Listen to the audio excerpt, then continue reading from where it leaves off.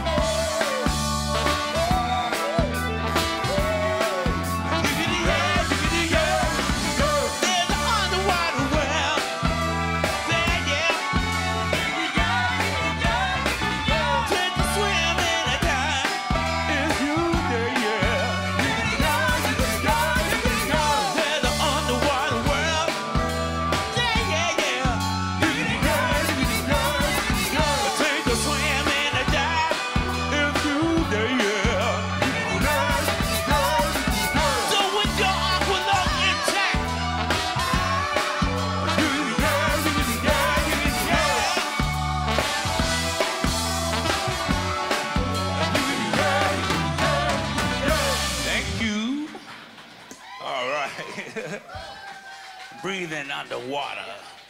All right. Woo!